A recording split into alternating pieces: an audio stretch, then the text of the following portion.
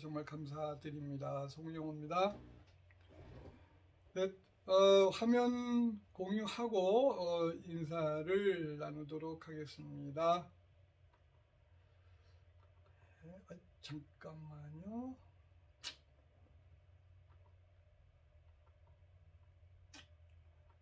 다시 하겠습니다. 이 소리 공유를 안 해서 다시 매번 네, 까먹는 일이네요. 예. 네. 네. 어, 지금 어, 함, 오늘 그 수업을 할, 함께 할 화면인데요. 어떻게 잘 보이시나요? 네. 화면이 잘 어, 네. 어, 아, 카카오톡은 아, 저런 저런 카카오톡 종료하겠습니다. 예. 예. 네. 네. 됐죠? 예. 자, 지금, 어, 오늘 수업을 할 하면, 어? 계속 카톡? 어, 종료했는데? 예.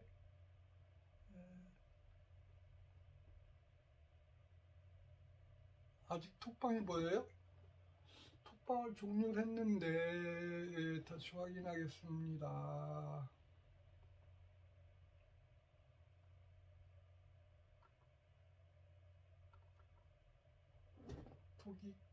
꺼, 어, 톡이 꺼져 있는데,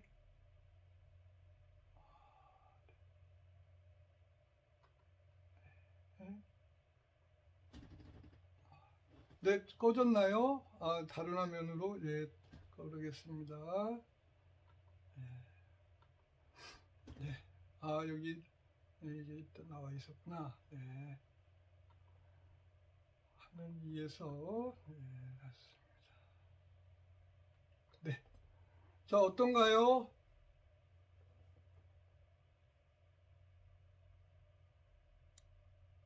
이제 화, 아, 됐어요? 예. 화면을 크게, 크게, 더 크게. 네, 이 정도면 됐을까요?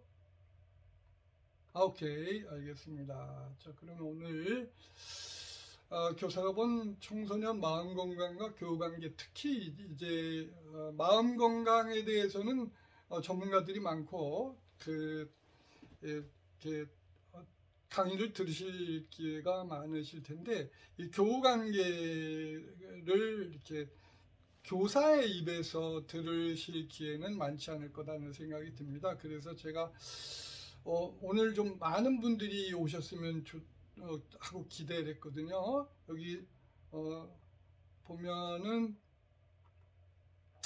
예, 그래서 지금 서울시교육청에서 천분까지 초대가 가능하다고 하는데 지금 현재 74분밖에 안 오셔서 좀 아쉬움이 있습니다. 여기 어, 줌아이디하고 아모 이렇게 있으니까 아, 예, 필요하신 분들께 예, 이렇게 안내를 해드리면 좋겠습니다. 특히, 특히 어제 그 연수를 하다 보니까 끝 무렵에 그 강의를 그 두, 질문을 받았거든요. 10, 근데 어, 예, 다른 학교도 뭐 마찬가지 현상이 있지만 좀 ADHD 아이들 거기에 대한 그 어머니들의 질문이 이 질문 7개가 올라왔는데 그 중에 5개가 우리 아이가 ADHD인데 어, 떻게 어, 아이를 지도해야 되느냐 어떻게 양육해야 되느냐 하는 질문이 많이 나왔거든요.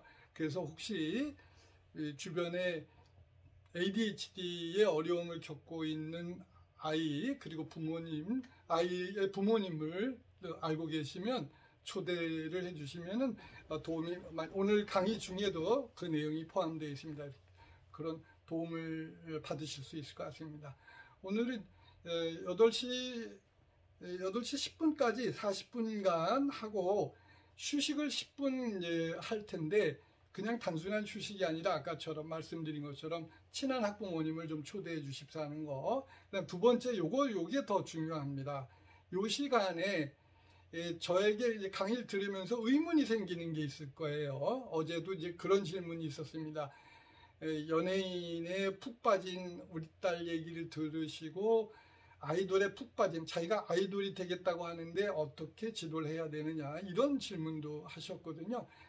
그런 거 는 교사의 입장에서 철저하게 저는 그 35년을 교직에 있었던 교사의 입장에서 어, 떤 것이 좋은지 방법을 안내를 해드리도록 하겠습니다.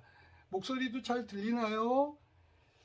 네, 근데 여기 채팅창에다가 질문을 올려주시면 아시는 것처럼 채팅창이 뭐 워낙 그 많이 많이 올라가 버립니다. 그래서 제가 찾을 수가 없어. 그래서 좀 수고스럽지만 카톡 카톡 아이디가 ICTSONG거든요. ICTSONG 여기다가 쉬는 시간에 질문을 올려주시면 어, 많은 질문에 그 그러면 어, 순서대로 먼저 올려주시는 헤어스타일 네 오늘 좀 힘좀 줬습니다 감사합니다 어제 오셨었나 보다 네 놀라셨죠? 색감해져서? 네, 네 감사합니다. 네, 그리고 2차 시는 25분간 하고 그리고 이제 나머지 15분간은 그, 그요 쉬는 시간에 예, 휴식 시간에 카톡에다 올려주신 질문에 대한 답을 같이 생각해 보는 거로 근데 의외로 어머니들께서 어라 나만 이런 일, 어른, 이런 어려움을 겪는 게 아니었네 라고 이렇게 생각을 하십니다. 이럴 기회에 예, 자녀의 알고 보면 그 집 대한민국 교사, 그 도함 대한민국 가족 어머니들의 고민이 사실 비슷한 데가 많이 있어요. 제가 이 강의를 학부모 강의만 15년째 하거든요. 근데 교사로서는 좀 특이한 경험이죠. 15년간 학부모님들을 만나고 다녔습니다. 심지어 강동구청에서는 아예 거의 모든 어, 초등학교에 제가 학부모 강사를 어, 하고 했기 때문에 그런 고민들을 어, 주시면 참 좋겠습니다. 자 그러면 여기 자 네, 오늘 목차는 1, 1차 시에는 까칠한 자녀와의 소통법에 대해서 2차 시에는 학교 폭력 상황 예방 및 대응법. 근데 여기 포인트가 물론 예, 어, 학교 폭력의 이제 가피에도 얽힐 수도 있지만 그 전에 어떻게 하면 안전하게 해서 우리 아이를 학교 폭력으로부터 보호할 수 있는지 그 비기를 이런 아이는 어, 학교 폭력을 당할 학교 폭력 가해자도 피해자도 되지 않는다는 걸 제가 평생 이제 35년간 봐왔으니까 그런 노하우를 알려드리도록 하겠습니다. 어, 제 소개 뭐 간단히 드리면 어, 어, 외대 영어과, 영어과를 이제 영어 교사로서 35년 동안 서울 시내에 이제 고루고루 이렇게 예, 이렇게 어, 근무를 했고 특히 예, 시교육청에서 제가 예, 학습부진과 관련한 위원회 부위원장하고 또 생활교육 관련해서 정책 자문관을 했습니다. 그래서 오늘 이 오늘 들으시는 이 내용, 이 강의 내용이 사실은 제가 시작은 했지만 이 정책 자문관 시절에 그리고 시교육청에 파견 나갔을 때 여러 그 전문가들이 모여서 학교 폭력을 예방하려면 실제로 부모님들이 어떤 역할을 해주셔야 하나 그거를 교육과정을 짜고 거기에 따라서 파워포인트 만들고 했던 그래서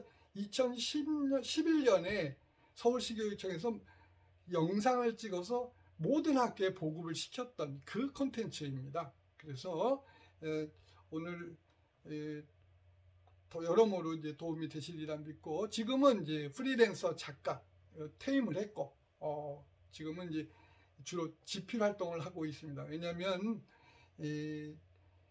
결국 후배들의 후배 교사도 그 도와주고 있지만 그 이후에 예, 교직의 공통점들이 있거든요. 그래서 그런 일들을 주고 하고 있습니다. 그리고 부모 노릇 어느 학교에 가니까 이런 말이 쓰여 있더라고요. 예, 어, 나도 엄마가 처음이야 이런 이런 학교 어, 학부모 그 연수를 갔더니 그런 표현이 있었는데 그 말처럼 나도 아빠가 처음이야 그 말처럼 사실은 만만치가 않은 거죠. 그런데 여기 오늘 오늘 연수의 목표를 제가 이렇게 뒀습니다. 목표는 교사와 학부모가 한편이 되는 기술을 익히고 실천할 수 있다. 이겁니다. 네, 우리 같이 한번 읽어보실까요? 소리내어 아이들도 소리내어 있는 게 좋습니다. 하브루타라고 아시죠? 자기 말로 상대방에게 설명하는 거. 그게 왜냐면 암기 효과까지 있어요. 시간 양 허비가 아닙니다. 같이 교사와 같이 읽어보실까요? 시작. 교사와 학부모가 한 편이 되는 기술을 익히고 실천할 수 있다. 예, 여기서 한 편이라고 하는 건 뭐냐면 정말 어, 어, 작년인가요? 서희초 사건이 있을 때 그, 그때 뭐 교사와 학부모가 마치 뭐 오, 적인 것처럼 그렇게 사회에서 언론에 보도되고 했지만 사실 우리 우리 이 아이를 위해서 양손을 떠받치고 이 아이를 서포트할 수 있는 지구상에 이 온 지구상에 있는 두 존재가 누굽니까? 교사와 학부모죠.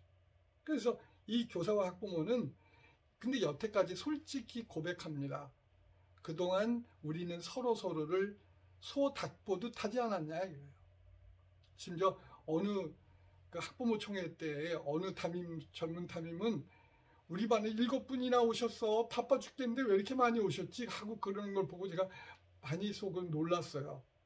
이렇게 학부모를 소닭보듯 또 학부모님이 학교나 교사를 소닭보듯 해서는 안 된다. 이제는 정말 근데 그게 가장 현명한 일이겠죠.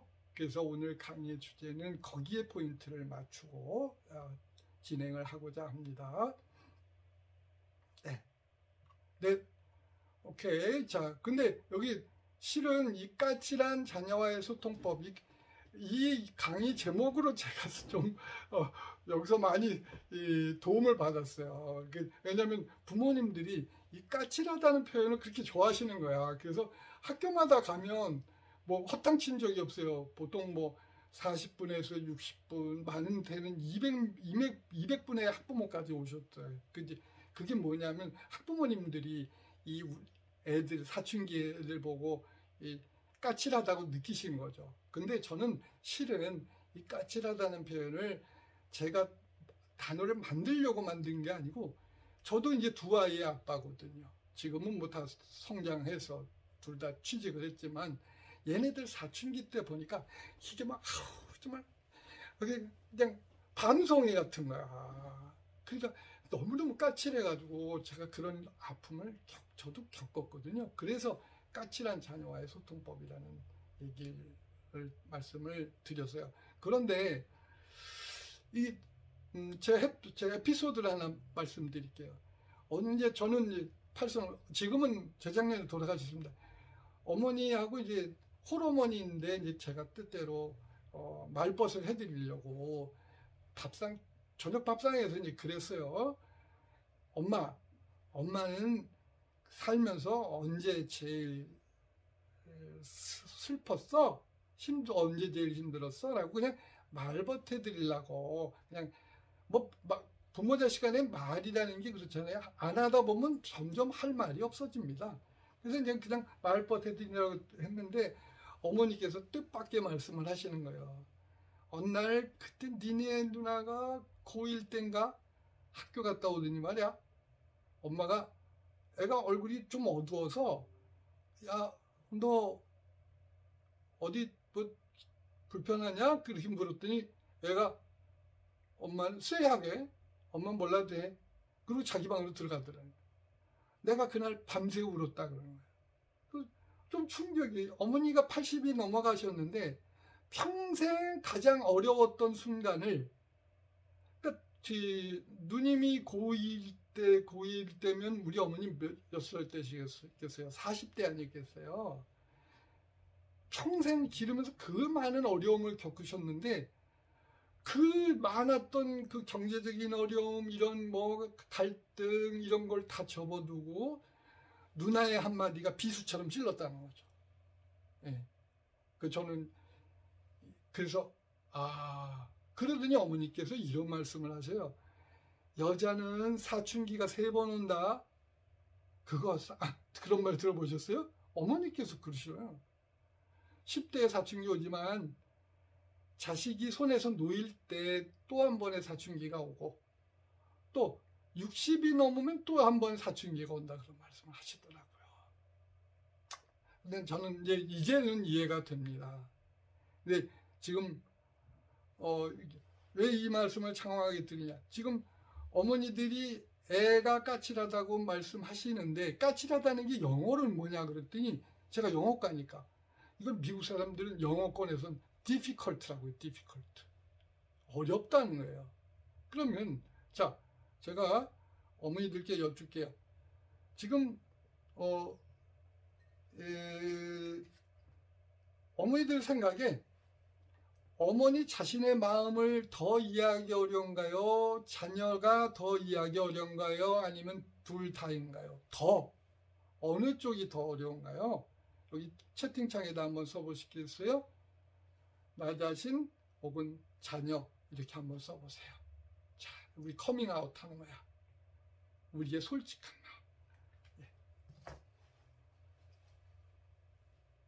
마음. 네. 음.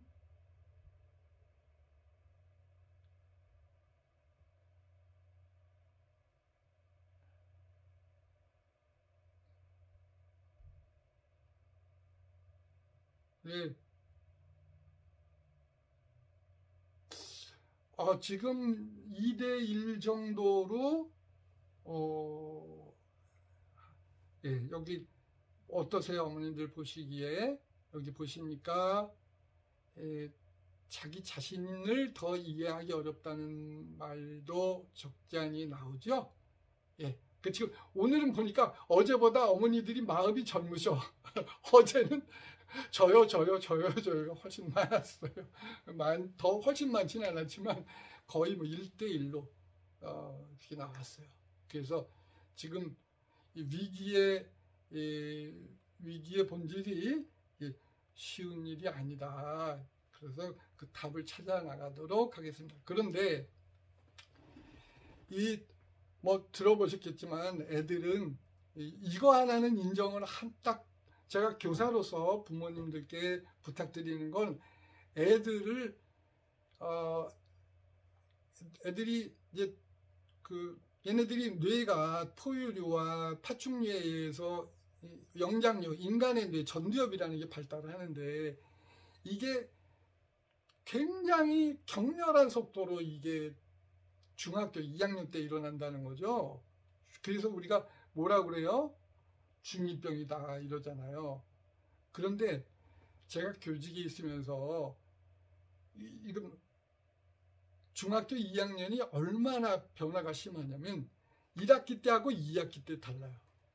그 제가 그 머리 어깨 무릎 발죠 여기 율동 있잖아요. head shoulder knees and toe knees and toe head shoulder knees and toe knees and toe 이렇게 근데 중학교 2학년 1학기까지는 애들이 이걸 따라 해줘요. 얘들아 다 같이 일어나서 우리 스트레칭 할까? 이거 율동이라기보다 우리 피로를 푸는 거다. 그러면 애들 shoulder knees and toe 그러면 중학교 2학년 1학기까지는 그런 대로 합니다.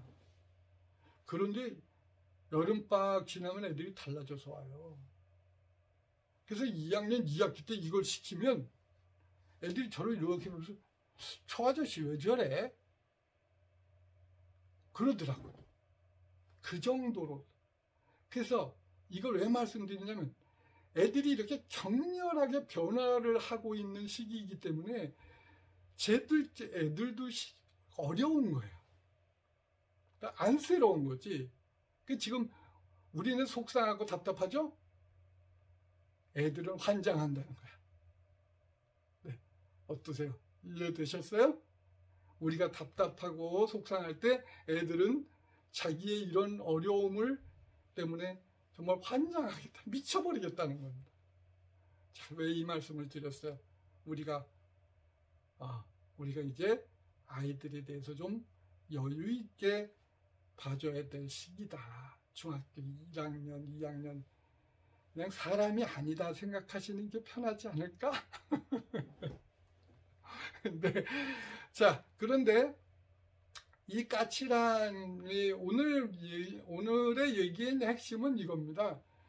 까칠해서 뭐가 어쩐데, 근데 코로나도 백신이 있었잖아요. 그래서 지금 이렇게 거기서 우리가 팬데믹을 벗어났잖아요. 근데 까칠함에도 백신이 있더라는 거예요. 그게 뭐다? 자, 지읒지읒감 자, 답을 채팅창에 써보시겠습니다. 네. 아, 좋습니다. 오케이.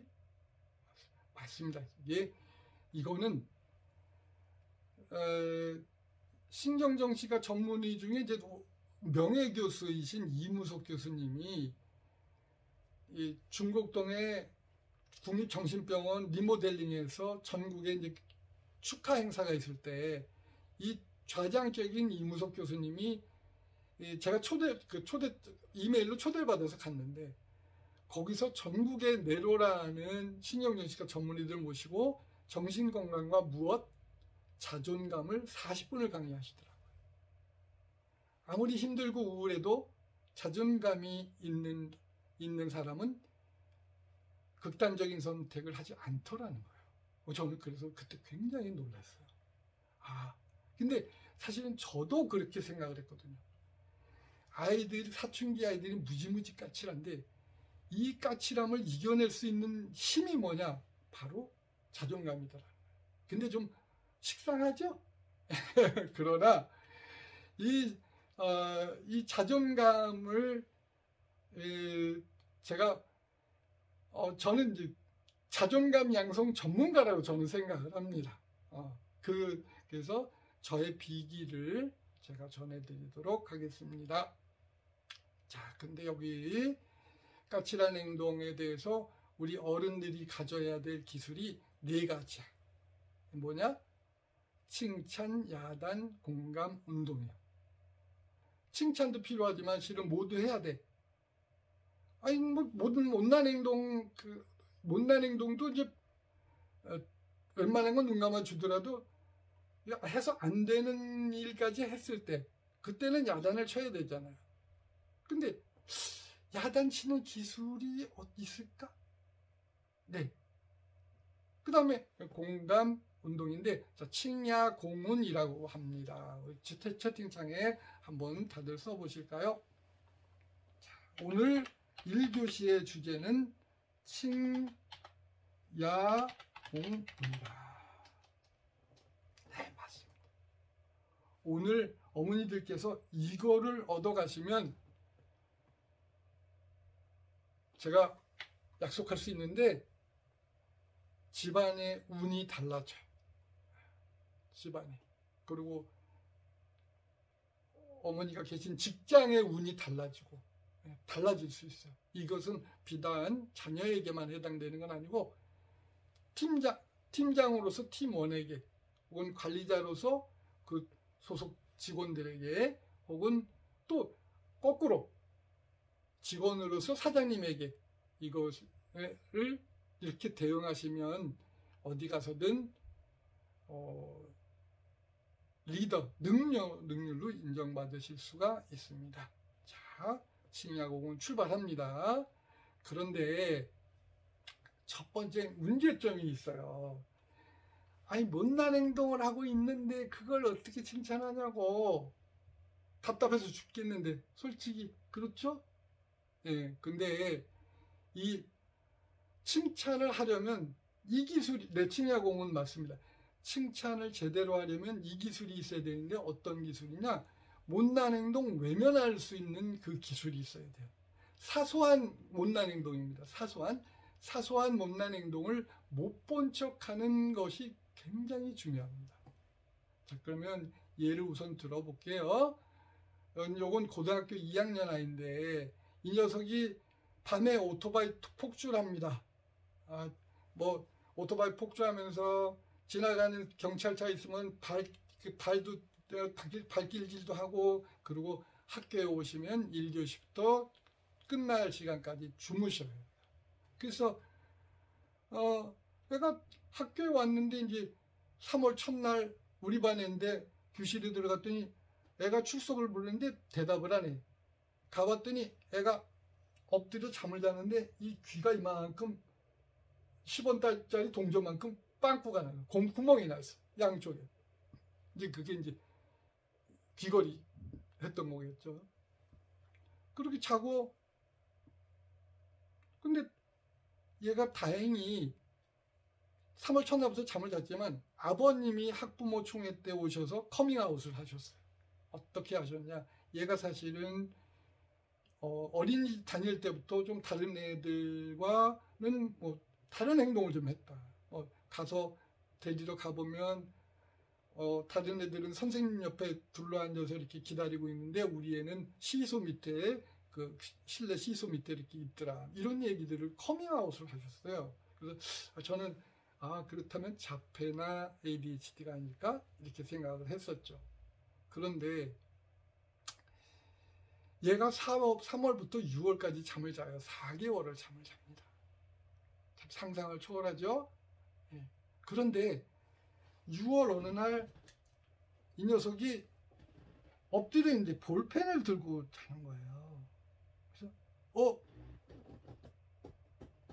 얘가 4개월 동안 그냥 꼴찌에서 안 했네. 꼴찌는 또 얘보다 더 심한 애 있었어요. 아니 얘가 왜 볼펜 들고 자냐 그래서 제가 완전히 이제 깜짝 놀랐죠. 야, 얘 그래서 우리 반 애들한테 야 오늘 아무개 볼펜 들고 잔다. 그랬더니 우리 반 애들이 막 책상을 두드리고 난리가 난 거예요. 아니 뭐야? 제가 왜 볼펜을 들고 자? 그러니까 애들이 그러니까 애가 하도 시끄러우니까 이제 애가 깼어요. 옆에 짝이 짝한테 야 왜 그러냐? 그때 짝에 있는 애가 어, 너 볼펜 들고 잔다고? 그런데 얘가 이 말이 얘한테 칭찬으로 들린 거예요. 우리 사실 칭찬한 거 아닌데 놀랐을 뿐인데. 그래서 어 애한테 애가 그러더니 그 다음날 애가 우리 반 애들 하나씩 하나씩 얼굴을 뜯어봐요. 자, 어머니들 좀 어려운 질문인데 이 아이는 왜 애들 얼굴을 뜯어봤을까요? 하나씩 하나씩. 네. 요건 난이도가 상당히 있는 문제인데 왜 그랬을까? 네. 자, 어, 시간이 어, 또, 아, 친해지고 싶어서 관심을 보여줘서, 어, 네. 야, 이 서수령에도 대답을 잘 해주시네. 어, 표, 어, 표정 관찰. 자기에게 관심을 보이기 시작해서. 네. 거의 90, 100점 만점에 90점짜리 답을 해주셨어요. 실은 얘는 그날 처음 본 거예요. 어떠십니까? 얘는 그날 자기 주변에 이런 애들이 있다는 걸 처음 봤어요. 그런 애였습니다. 그런데 애가 친구들의 얼굴을 뜯어보더니 그때부터 수행평가에 참여합니다. 그러더니 이럽니다. 중간고사 때 38등 했던 애가 기말고사에 17등으로 올라가더니 예, 대학을 말, 말하는 건 그렇고 석박사 과정을 컴퓨터공학 석박사 과정을 밟고 있어요. 자, 어머니 어떠십니까? 이 아이가 바로 ADHD였던 거예요. 네, 그래서 제가 이걸 왜 말씀드렸냐. 칭찬할 게 있어야지. 그렇게 보시면 안 돼. 어떻게 해야 된다? 얘가 잠을 잘 때 남에게 피해는 주지 않잖아요, 우선. 그럼 남에게 피해를 주면 안 되지. 근데 피해 주지 않고 그냥 조용히 잠을 자. 내버려 둬. 예. 못난 행동에 면하라 훌라 훌라. 예. 그렇게 속으로 참는 거죠. 그런데 4개월 만에 이 아이의 변화를 변화하고 부모님이 기다렸다는 듯이 원래 학부모총회 때 오셔서 저와 공감대가 형성돼 있었잖아요. 그랬더니 예. 지금 결혼해서 행복하게 예, 회사에서 스카웃 돼가지고 프로그래머 생활을 하고 있습니다. 자, 여기 지금 제가 첫 번째 예, 알려드릴게요.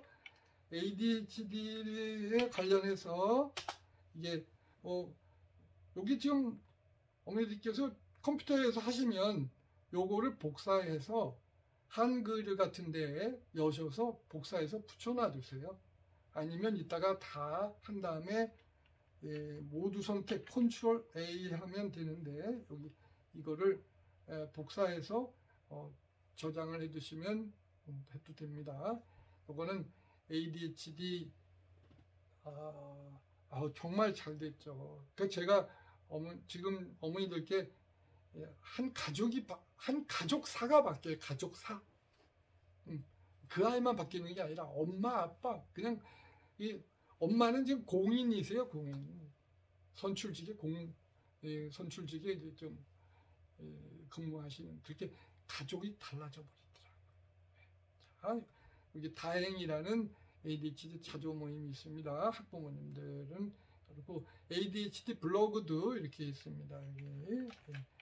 여기 가시면 여기는 제가 여기 언론사 블로그인데 제가 여기 언론사 블로그에 ADHD와 관련해서 여기 인터뷰한 것도 여기 나옵니다.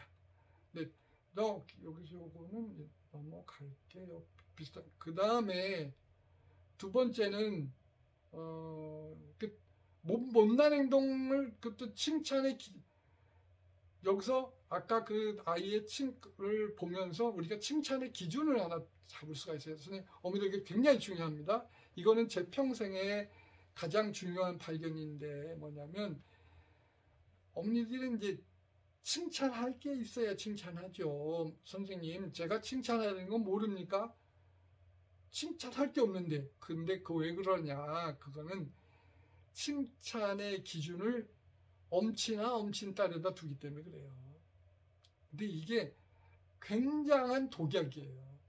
심지어는 형제 어머니들 무심결에 니네 언니는 이런데 니네 오빠는 이런데 이렇게 말씀하신 적 없으세요? 자 가슴에 손을 얹고 있다 없다 형제 자매 간에 비교하는 말 한 적 있다 없다 채팅창에 써주세요. 형제 자매 간에 비교하는 말 나는 한 번도 없다. 많다 있다 있다. 네. 그러니까 우선 어, 감사합니다. 커밍아웃 해주셔서 감사하고 여기 지금 이게 굉장히 중요한 거예요. 자존감은 칭찬을 엄마의 칭찬을 먹고 사는데 비교가 독약이에요. 형제 자매 간에도 비교하는 게 독약입니다. 그러니까 오늘부터 거기서 연습하세요. 형제 자매 간에 비교하지 않도록. 그럼 대신에 못난 행동의 안테나는 내려버리고 이제부터 잘한 행동의 안테나를 올려 올리자. 자, 오늘부터 이게 우리 삶이 바뀌는 겁니다. 그러면 앞으로 대하는 모든 사람들, 음? 네, 저는 외아들 이어서 비교할래요? 네. 네. 자, 그래서 제가 어, 노래를 이렇게 만들어 봤어요. 요거는 어제 오늘 만든 노래입니다. 송아지에 맞춰서 자 답을 우선 맞춰볼까요?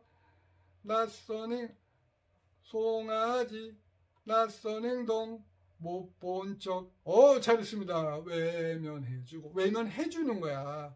모르는 게 아니야. 부모는 모, 모르고도, 알고도 속고, 모르고도 속아주는 게 부모라는 그 말 있잖아요. 이게 제가 올림픽 공원을 이틀 돌면서 정성껏 조깅, 새벽에 조깅하거든요. 이렇게 만든 겁니다. 아니, 어떻게 이렇게 잘 맞추셔? 어?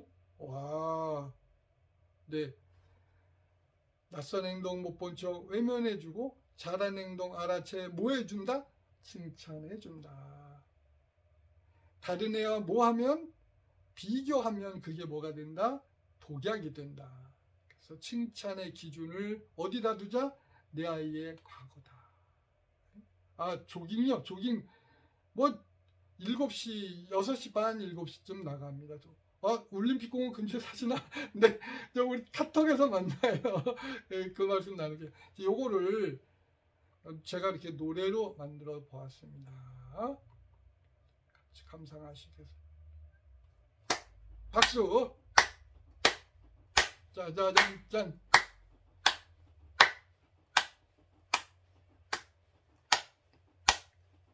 둘, 셋, 넷.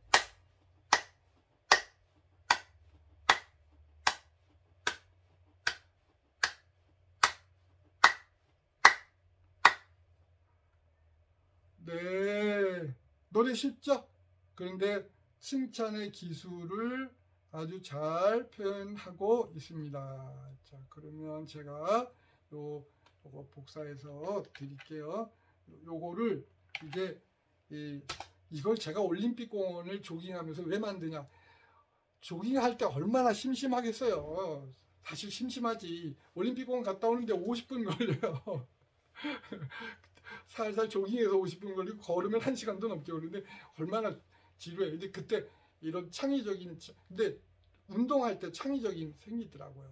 자 그러면 이 우리 어머니들 요걸 어, 이거 꼭 이게 숙제인데 꼭 이 노래를 주문처럼 외셔야 돼. 우리 그 그러면서 한번 박수 치면서 낯선 행동 못 본 척 외면하고 잘한 행동 알아채 자, 잘한 행동 알아채 칭찬해줘요. 다른 애와 비교하면 독약된대요. 칭찬의 기준을 아이의 과거로.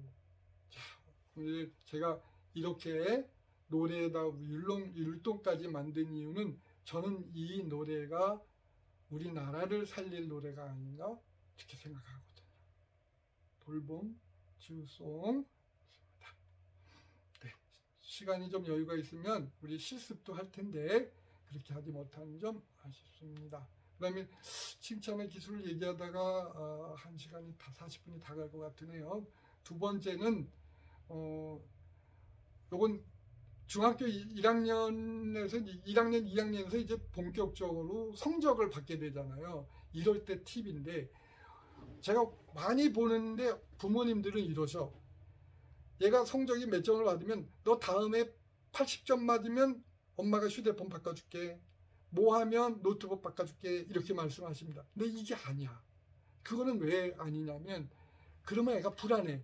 만약에 그 점수에 도달하지 못하면 어떻게 되지? 불안을 증폭시켜. 그건 좋지 않은 방법이다. 그럼 어떻게 하면 좋으냐? 예, 쉽게 고스톱 생각하셔라. 지난번에 점수를 기준으로 해서 지금 지난번에 가령 애가 59점 맞았어요. 그러면 그 다음에 목표를 70점, 80점 두지 마시고 너가 지난번에 59점을 맞았으니까 이번에 점수 올라간 대로 만약에 점당 얼마 점당이 되니까 고스톱 치는 느낌인데 예, 점당 얼마로 그 마일리지로 어? 마일, 점당 협회에서 마일리지로 보상을 해주세요. 제가 우리 딸에게 예, 그렇게 했습니다. 실제로 초등학교 5학년 때, 3학년 때인가 수학 경시대에 39점 맞은 이후에 그 다음부터 계속해서 그냥 점당 너 얼마 1점당 얼마 네가 노력해서 얼마 특별용돈 받을래 이렇게 해서 어, 했습니다. 근데 이제 어머니들께서 걱정하시는 건 그러면 나쁜 습관 되는 거 아니냐. 고등학교 2학년 되니까 손 벌리지 않더라고요. 지든 민, 지 성적 올랐는데 왜 엄마 아빠한테 이제 명구스러운 거지. 그러니까 마중물 역할을 합니다. 예, 그다음에 예, 그랬더니 나중에 그렇게 계속 보상을 해주고 그랬더니 우리 딸내미가 어느 날 이렇게 말합니다. 아빠는 왜 같이 읽어보실게요. 저는 저도 이 말 듣고 저도 놀랐습니다. 아빠는 왜 시작? 아빠는 왜 우리에게 공부하라는 말을 안 했어? 라고 묻더군요. 새삼스레 그런 말을 들은 기억이 안 나는 게 이상했나 봅니다. 그 다음 문장 학교도 그렇고 세상도 그렇고 온통 폭력적인 경쟁 이야기뿐인데 엄마 아빠만이라도 편안한 쉼터가 되어줘야 되지 싶었어. 그런다고 공부를 안 할 수도 없는 상황이었잖아. 고2 때부터 인간은 성적표도 아예 안 맞잖아. 자, 어머니 여기 우리가 늘상 공부 때문에 전전긍긍한 건 사실입니다. 그런데 우리가 애에게 스트레스를 주지 않더라도 애는 충분히 스트레스를 받고 있지 않습니까? 그러니까 오히려 엄마 아빠는 진짜 진짜로 신경 안 써요. 저는 고2 때부터 통지표도 안 봤어요. 얼마나 초조하겠습니까, 애는. 그래서 역발상. 음, 오히려 그것이 아이를 더 편하게 해줘서 세상을 걸을 수 있는 힘이 되지, 힘이 되지 않을까? 라는 생각이 듭니다. 자, 그래서 오늘 1교시에 칭찬의 기술까지 공부를 했습니다. 자, 칭찬의 기술 아주 쉽, 한마디로 요약하면 아주 쉬워요. 칭찬은 못난 행동을 어떻게 하고 못 본 척하고 칭찬의 기준은 어디다 두고 아이의 과거에 둔다. 네, 어, 저도 공부하란 말 네, 나라를 살릴 노래 맞네요. 네, 맞습니다. 좀 우리 과부하 사회 너무 모든 것이 이렇게 너무 막 긴장하고 이런데 우리라도 좀 우리 자녀들을 좀 편하게 그래 그래도 애들은 편하지 않습니다. 네, 맞습니다. 약속한 시간 8시 10분이 됐거든요. 10분 동안 푹 쉬시고 제가 10분 동안 뭐 하시라고 그랬어요? 두 가지. 아니, 10분 동안 두 가지. 하나는 예, 카톡 이제 카톡으로 여기 여기 지금 100분밖에 안 들, 103분밖에 안 들어오셨어요. 900명의 학부모님들이 더 오실 수 있어요. 어. 예. 저희 하도 스트레스, 예, 그게 참 상처 받습니다. 상처 주지, 우리가 부모가 상처 주지 않아도 세상이 애들에게 상처를 줍니다. 예. 네, 저기 다른 어머니들 여기 100분이 계신데 한 분이 한 분만이라도 초대하시고 그 다음에 카톡 아이디 ICT SONG 여기로 네, 궁금하신 점 질문 음, ICT SONG 카톡 아이디입니다. 여기에 질문 주시면 그 순서대로 답을 하도록 하겠습니다. 8시 12분이고요. 8시 22분에 뵙도록 하겠습니다. 네, 1교시 수고 많으셨습니다. 자신에게 박수!